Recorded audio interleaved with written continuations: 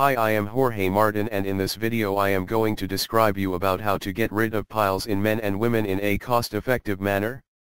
Piles, which is otherwise called as hemorrhoids is one of the biggest problems faced by people from around the world these days.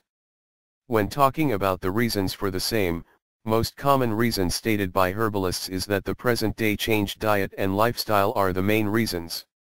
Piles are nothing, but a bunch of veins that are normally surrounding the anus.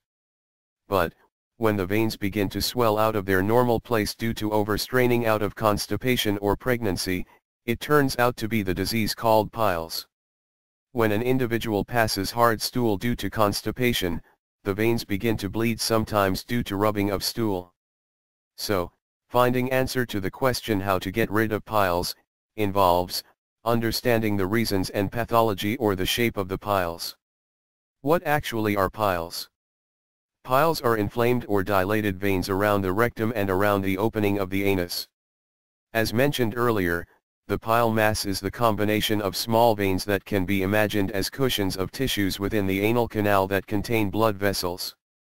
The supporting tissues and surroundings are made out of elastic fibers and muscles. In general, in humans the length of the anal canal is about 5 centimeters. The stool generally passes through this passage and exits the body through the rectum. The veins or pile mass are present in every individual, but if there is too much straining because of constipation, prolonged sitting habits, irregular eating habits and indigestion, it can lead to development of piles. Before finding answer to the question how to get rid of piles, let us understand the type of piles. Bleeding piles, even though, some people have piles, they will not experience bleeding because bleeding is caused only in the case of individuals with internal piles. There is another type called external piles, in which bleeding along with stool happens rarely. Irrespective of the type, piles can bring psychological impact on the health of the sufferers. When there is regular blood loss, it can lead to anemia and the resulting weakness. Here comes the answer to the question how to get rid of piles.